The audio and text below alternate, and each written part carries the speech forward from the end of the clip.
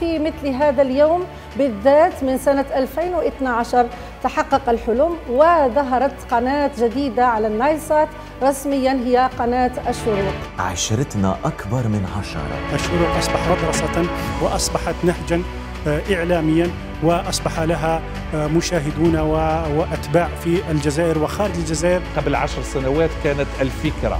الآن بعد عشر سنوات صدقوني الفكرة تحولت ماشي برك إلى مؤسسة وصرح إعلامي وإنما إلى عنوان كبير. أحيانا نسجل برامج لا تبث إذا إذا حست فقط انه هناك خدش ولو الحاجة للاسره عمري ما درت نسب المشاهدة كهدف ولا كأساس. إلى جاء ومرحبا بهم. تحية شروقية إلى كل الشروقيون الذين حققوا نصر في الاستمرارية. فريق التقني المتواجد في الشروق يعني من أروع تقنيين اللي موجودين كاع في القنوات. كنت أول صوت بان على قناة الشروق في فلافوا أوف. حصة خيارات بلادي يعني شغل راهي مدرسه للفلاحين جرأة في 2012 إنه تكون آه، بنت يعني تقدم أخبار رياضية. استضافة لاعبين قدامى ومدربين ولاعبين حاليين. ما نحاولوش نتاجروا بالحالات باش نقولوها والمجتمع الجزائري واش راهو فيه ما كان ليتحقق هذا الإنجاز لو لم يكن هناك بعد الله سبحانه وتعالى